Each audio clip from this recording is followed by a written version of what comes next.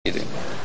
Untuk mengoptimalkan pertumbuhan industri kecil dan menengah, pemerintah menaikkan alokasi dana KUR serta jumlah lembaga keuangan penyalurnya. Penambahan jumlah bank peserta KUR kini menjadi 19 bank.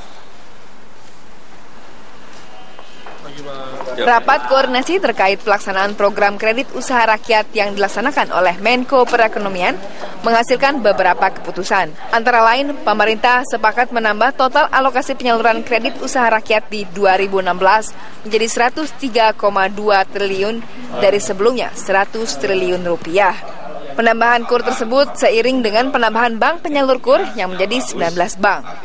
Ketua Dewan Komisioner OJK, Mulyaman Hadat, menuturkan pemerintah dan OJK sepakat menambah jumlah BPD penyalur kur seperti BPD di Kalimantan Barat, Nusa Tenggara Timur, Bali, Yogyakarta, Sulawesi Selatan dan Barat, Jawa Tengah, dan Sumatera Utara.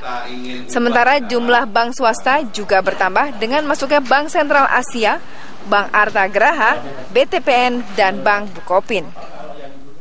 103,246 triliun ya dari 19 bank yang rencananya akan mengalokasikan kur pada tahun ini.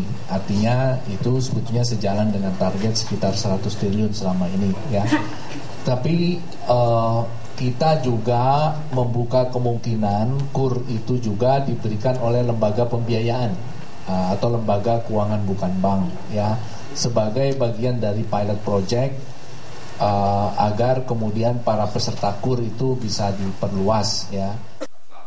Sementara itu, Menteri Keuangan Bambang Brojonegoro menyarankan kepada bank-bank baru peserta penyalur KUR atau lembaga keuangan bukan bank untuk segera menyesuaikan sistem teknologi informasi yang ada. Beberapa Pemda, Pemprov lah, yang kemudian mengembangkan perusahaan jaminan kreditnya sendiri, sehingga kita menambah beberapa jam kerja ya jaminan kredit di daerah, misalnya di Riau, Sumatera Selatan, Bangka Belitung dan Jawa Tengah. Dan ini tentunya sinyal bagus, artinya daerah juga uh, berusaha mengamankan uh, pelaksanaan dari KUR. Seperti diketahui, penyaluran KUR di 2016 hingga 5 Februari 2016 sebesar 6,4 triliun dengan total debitur KUR sebesar 298.728. Adapun dari jumlah tersebut, bank-bank BUMN masih paling dominan seperti BRI, Bank Mandiri, dan BNI.